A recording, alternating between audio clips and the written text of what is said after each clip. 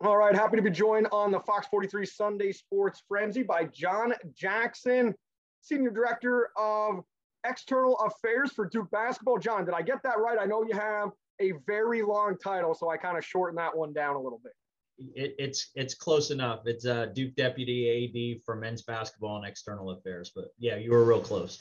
There we go. I shortened it down because I'm a kid from the coal region, so shorter always works better. Now you're down there in Durham on Tobacco Road at Duke University, but you have roots right here in Lancaster County, being a native of Lebanon. How yeah, uh, yeah, grew up, uh, yeah, grew up in in, in Lebanon and uh, actually started in Annville, and then uh, grew, you know, grew up most of my time I was in Lebanon, and and then uh, did high school. My high school years were up in Bradford County, uh, way up in the northeast part of the state, but you know, still consider Lebanon my hometown. Awesome. It, it is a great place. The Cedars, good basketball programs this year on both boys and girls side, and last year's LL champs. I'm sure you know all about that because your brother Dell Jackson runs LLHoops.com, does a great job covering the high school local scene. So I guess it kind of runs in the family that you guys are just basketball centric. Yeah, I you know Dell uh, you know Dell obviously played at Annville and and uh, coached a long time in that region and uh, obviously has a huge passion for for the league. Uh, and you know the the the website is kind of a labor of love for him. He he does a lot of work with it. I don't know for I, I try sometimes to talk to him about is it really is the is the ROI really worth it? You know, uh, but but he loves it, and um, you know obviously uh, you know great for for that for that area. Uh, but yeah, we we grew up big sports fans, and um, you know, went to Penn State and and realized that maybe there could be a career there in it, and uh, just been really fortunate that that I was able to fall into something that doesn't feel like a job for the last 30 plus years. You mentioned that ROI talk talking to Dylan. I always love seeing them out at games. You know your way around that that kind of stuff and branding and communications. You mentioned that by Penn State. So you worked in Penn State Sports Information Department. You worked for the United States Olympic Committee. You've been down at SMU and at Duke for the last 20, 20 plus years. Just briefly, can you can you come up with some top five moments from all the from in that long journey to where you're at now? Yeah, I mean, I think so. I'll, I'll take. I'm going to give my my personal one first. Uh, I was a freshman at Penn State in 1986, so uh, that was a pretty special year for for the football program, and certainly uh, we, we had a lot of fun, uh, you know, celebrating in, in January after that, after the win over Miami. So that that's that's a personal one. Um, I, you know, professionally, I, I think it's a couple things. Um, you know, I've been really fortunate since I've been at Duke to be part of three national championship uh, teams here, and um, each one is very special. Um, the 01 team was my second year at Duke, so I was still trying to figure things out. And, um, you know, fortunately we had, we had some players named Battier, Williams, Boozer, Dunleavy, Duhon, uh, pretty, pretty good group. And uh, also a great group of guys. And so that for me was at the time, you know, like you get into this to, to try to be part of something like that. And, and that was, that was a really cool, cool thing to, to go through. I think as I got older, as the, as the next couple came along, uh, you know, they're, the, the coolest thing for me is my family has been able to be part of these championship runs and, you know, a son and a daughter that, that, you know, to see it through their eyes was super special for me. Cause again, we're, we're busy, you know, we're, we're working, we have to, we have to take care of our, our coaches, players and staff. So, um, you don't get a chance to really enjoy it until maybe you can breathe at the end of it all but to see it through their eyes was was a really really cool you know both of those 2010 and 15 and you mentioned dell. My brother was out there for uh, he was out there for the 2010 championship and and i think he's there for 15 as well. But like uh, just you know to be able to share it with family that's been with you along the way it, it that's the coolest part. Does that kind of make the rat race of the the basketball season. And no matter what level of basketball it is whether you're a high school coach whether it's whether it's running a, a, a high school website dedicated to basketball or whether being in charge of communications for the biggest basketball program in the in the country does that just kind of make that rat race all worth it seeing it come together with a championship and having your family there? It, it yeah definitely and again you have to sometimes separate the professional and the personal but uh, um, the one thing that I think coach has done such a great job here. I mean, we are we are family. I know it's very cliche to say that, but you know, we spend a lot of time together. And the the great thing coach has done is he's kind of been an example for all of us how to incorporate your family into the into the work. And because he knows you're going to be gone a lot, you know, it, we we all get that. And so the more we can we can have them part of it you know maybe we're not missing out on some of the things that we would if we just were 100% dialed into our jobs and that's uh that's been a great role model for me um but uh, yeah, I mean, you know, sometimes you you get reminders, right? Uh, we you get people to come to to Cameron for the first time, and and they're in they're just in awe. And you know, for you, for me, I'm around it all the time. It's it's a you know what I mean. It's it's a it's a great reminder of you know what we do have here is really special and to kind of see it through others eyes can can it can it can help. When when things are hard you can you can think of you know wow but remember how much it meant to this kid that you you helped or you know first time you brought a friend here or, or a relative and um, it, it does make it, it, it helps you get through what, what it's a grind. I mean you know a, tip, a good year for us we're playing 40 plus games. It's a lot you know it's a it's a lot and a lot of travel and and things like that. So that those things definitely help you know make it all make it make you get through it and make it worth it. Well, since you were in college you were around big time athletes you know working in penn state's sid so you were around coach paterno and, and things like that. Still when you walk into duke in in uh, 2000 you know it's one thing to hit the ground running but still be in awe of it. Can you describe what that was like, your first entrance in there, and kind of compare and contrast now that, you know, the hair may be a little bit more grayer or, or, or something like that, that you're so used to seeing coach over the last 20 plus years? Yeah, the, it's funny that uh, when I did my interview at Duke, I never interviewed with Coach K, even though I was going to work with them. They were going to Michigan for a game, so it was a you know, a little little odd to get a job offer without ever really talking to the coach I was going to be working with. Um, so first time I met him, we got here in the middle of January, and it, we had an ice storm, and it was everything in our area shuts down. We don't have, you know, we don't have the capability to deal with uh, with uh, snow and, and ice here. So we just we just basically wait for it to melt. Uh, so the first time I saw him, you know, this, this guy walks in my office and there's like a, a hat pulled way down over his eyes. And it was a Cubs hat and it was you know coach k welcoming me to the to the job i'm like oh, okay this is this is different you know than what i thought it was going to be um, and i remember walking into the locker room the first time to get introduced to our players and um, again Battier, Williams, Dunleavy, Carrawell, you know those t- those are the folks. You know, these are guys you see on TV all the time, and it, it, it was a little intimidating.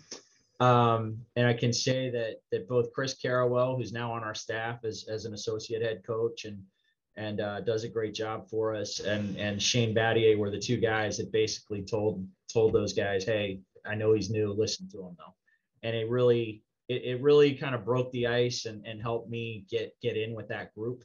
Um, and then again, the next year, kind of going through that championship run with a lot of the same people uh, was was huge. But there there was there's an awe factor uh, the first time, you know, until you start getting used to used to people and and whatnot. And, and coach is such a, I mean, such a big, larger than life figure in sports that you just you, you just got to get over it. And that he's he's just a guy like us. He's very very good at what he does. And in my opinion, I'm I'm biased, but I think he's probably the best that's ever done what he does in, in our world. Um, so you have to you, you just have to figure out a way to to look at him as another person. And um, and over the years, uh, you know, I've had 21 years with them at this point, so um, I don't think I don't think about it anymore. I just I just know here's what we have to get done as a program. Here's what our coach wants done. How do I help them execute it? So it, it you know I come in, it's a job, and fortunately I'm working with people with uh, great morals, great ethics. Uh, so we you know we can all do what we have to do and sleep great at night it's going to be an emotional end of this season. You know, kind of it's roller coaster of emotions, up and downs this year with with, with highs, with big wins, and and things like that. Uh, this weekend's going to be emotional for the entire Duke program. Last home game at Cameron. Being in the role that you are, do you find yourself being more hands-on in a week like this, or do you find yourself maybe taking a step back and telling people take a step back and kind of soak in what this moment and this game is is going to be like for Coach K at Cameron.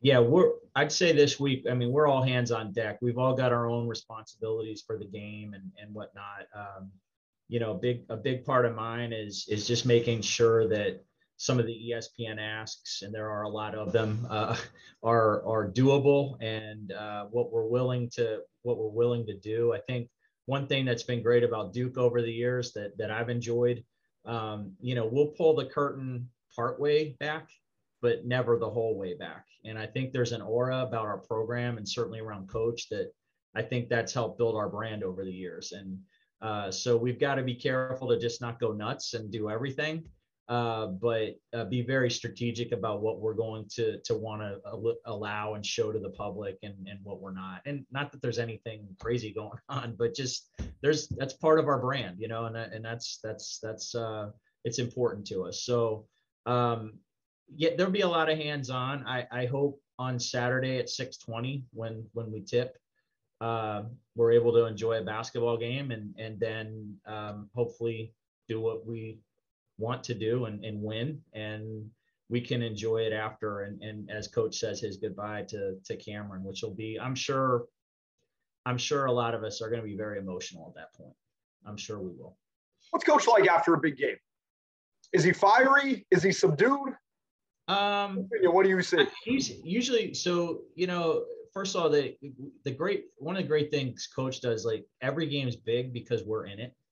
So we we prepare for you know a Tuesday night in November the same as we would for a Final Four game, and so I, I think that's the level of performance that we have to give and that he wants from his team is the same all year. So there's nothing new being said in April that wasn't already said throughout the year. Um, and and we hope we have them prepared to to be on the biggest stage and and whatnot. So um, usually, if we play well, and it he's excited. And and I know right now we're we're in a streak here. We won 12 of 13, and um, played very well on the road the last few games and I think he's uh, he's he's really excited about his team. And um, one of the things that he shared with the group last night, he said, "Look, Saturday's going to be nuts. There's going to be a lot of things."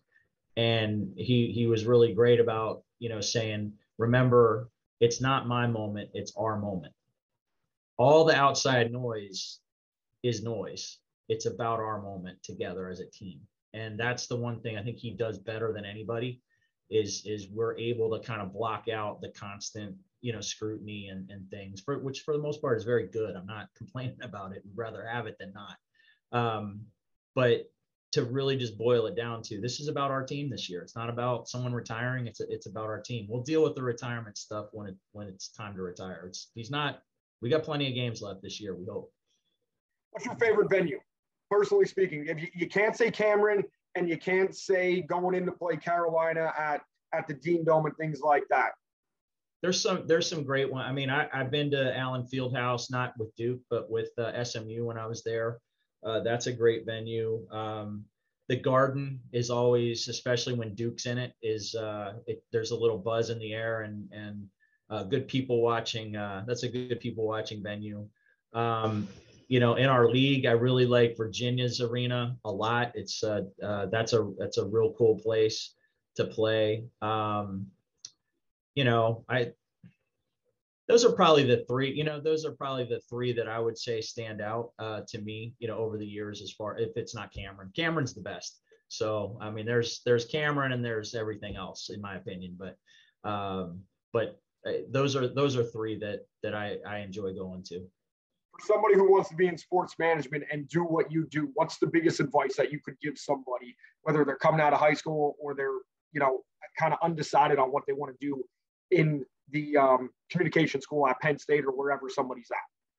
Yeah, well, it's interesting. So my, I have a 21 year old at Penn State who we're having these discussions right now. So I don't, I don't know if I'm giving her the right advice, but, but basically, you know, the the more the more you can get on a resume the better you know? So get practical experience. As when i get when i get resumes i'm looking for what have you done? And there is a as big as the sports industry is there's still a who you know factor. And and if I have a colleague at another school, for instance, that I trust and know, call me about someone who may be applying here, automatically that person's going to get put on a different pile. And so the networking that people can do is is absolutely critical. Like the more people you can just network with and and be able to maybe pick up a phone for you or write a write a reference letter for you. I mean, those things they still matter. Uh, I know we're in a different time, you know, digital age, all that. Um, you know, a little bit more movement, you know, a little less stability with people and their jobs. Uh, but end of day, um, all that stuff, those personal relationships, they still matter. And I can tell you, I would have never been employed at SMU without someone who knew someone at SMU that I worked for. And I would have never been employed at Duke without the same thing happening from SMU people who knew people at Duke. So I I don't know that there's a template per se, but I do know that relationships at the end of the day, it's still the most important thing in our business.